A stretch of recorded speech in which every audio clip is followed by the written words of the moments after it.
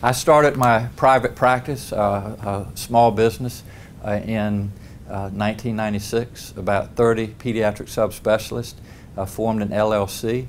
I'm a pediatric neurologist. We had cardiologists, pulmonologists.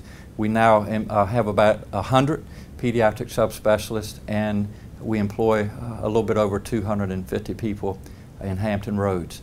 I work in the most heavily regulated industry, that being healthcare. I am very sensitive to, to regulations and uh, I will do everything I can in Virginia to make sure that they are no more burdensome than they have to be.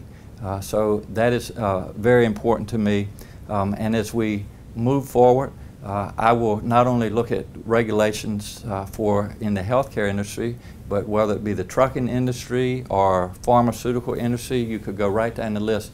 Talk to people that have experience that are in the trenches every day and ask them what are the regulations that are most burdensome to you. And finally, uh, as you know, a lot of these regulations are enforced by inspectors. And when inspectors come into my office, we have to essentially shut down our office. We have to prepare uh, sometimes for days getting ready for them.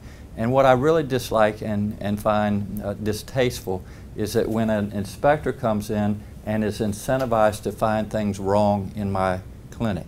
What I would like to see is a change of tone and let them come in. I don't mind them coming in and, and looking at my business, but come in with the attitude of saying what's you know working well in your business and what you could do to improve upon, and especially how you could make it better for your business at the end at the end of the day, help your bottom line. So the whole tone of how we do inspections and how we deal with regulations uh, in Virginia needs to change, and I want to change because I am very sensitive to it, uh, being the owner of a medical practice.